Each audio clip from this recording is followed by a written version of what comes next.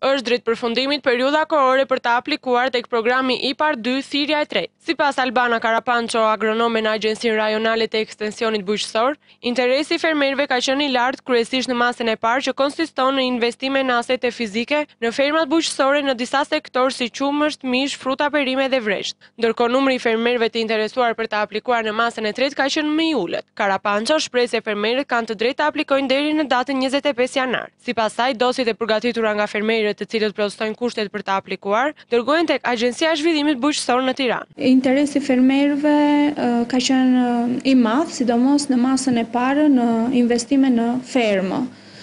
Interesim kanë patur fermerët në investime që kanë të bëjnë me rrjetat antibreshër, me instalimin e sistemit antibreshër në pemtore, ngritje të dhomave frigoriferike, ngritje stallash, edhe mbjellje të reja të pemëve frutore. Gjithashtu edhe mekanikë, Që ka patur lidhje mekanika edhe me këto me këto veprimtari. Aplikimi mbyllet në datën njëzet e pesë në orën katër e gjysëm. Aplikimet siç e dimë bëhen në AZHBR në Tiranë, aty çohet dosja dhe procedimi më pas është me kontrollin administrativ të dosjes e cila bëhet nga trupat e akredituara pranë AZHBR-së në Tiranë, dhe fermerët do të jenë në pritje të dokumentave shtesë dhe të kontrollit në terren të të parcelave për të cilat kanë aplikuar për të kryer investimin e tyre.